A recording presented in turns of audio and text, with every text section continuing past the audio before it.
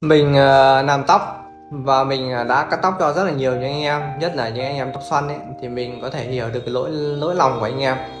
Những cái tóc mà gần như là rất là khó để tạo kiểu mình biết rằng nếu như rơi vào tay mình mình có làm cho anh em nó rất là đẹp thì mình cũng phải toát mồ hôi, hôi hột ra huống chi là anh em đúng không? Anh em ở nhà thì gần như là rất là bó dễ là bó tay cho nên là gần như là buông xuôi cứ để nó xù xì vậy lúc nào đầu tóc nhìn cũng rối tung rối mù như vậy. Mình hiểu được cái cảm giác của anh em à, và về cái vấn đề mà tóc anh em xoăn ấy, bây giờ anh em muốn chơi nó tóc nó thẳng thì anh em ờ, phải hiểu rằng mình phải luôn luôn mình phải luôn luôn hiểu rằng nếu như mình muốn tóc thẳng ấy, thì mình phải đi ép tóc. Luôn luôn hiểu một điều như thế một năm có thể ép hai lần Đấy, khoảng 3 lần thì tùy cái tốc độ mọc tóc của anh em. Thì ép tóc ấy thường thường nó sẽ có hai loại.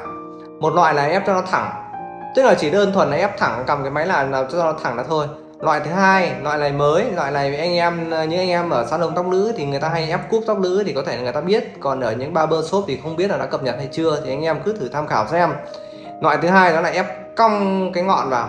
Tức là người ta sẽ dùng cái máy là cong ấy người ta sẽ cong cái ngọn vào. Đấy thì sau khi uh, người ta là xong ấy thì người ta sẽ quấn thêm lô nữa cái lô nhựa ấy. Đấy quấn là như cuốn vậy. Thì sau khi mà làm xong ấy thì cái tóc của anh em ấy nó không bị xẹp. Thứ nhất là cái chân tóc nó không bị xẹp thứ hai ấy, là cái cái ngọn tóc ấy cái ngọn tóc ấy nó sẽ hơi cong nhẹ và như thế này. Nó cứ cong đều cong đều và như thế lớp chồng lớp đấy cắt đẹp nữa là lớp lớp chồng lớp.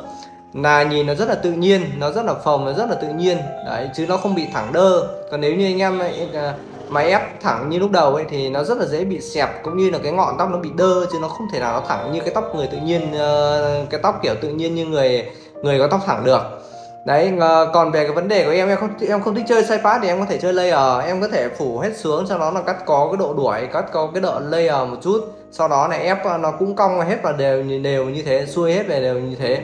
Em có thể là tham khảo một số những cái tiệm. Đấy. À, hỏi nhắn tin hỏi người ta trước về cái vấn đề này. Đấy ép cúp. Đấy thì là sẽ giải quyết được cái vấn đề của em nhé nó sẽ không bị xẹp, cũng như là cái ngọn tóc nó sẽ rất là tự nhiên, em cũng rất là dễ tạo kiểu. Sau này 4 năm tháng nó mọc ra thì em có thể này ép nối lại cái phần chân. Hoặc là nó dài hẳn ra rồi thì cắt bớt cái tóc cũ đi thì ép toàn bộ lại nhé cảm ơn em.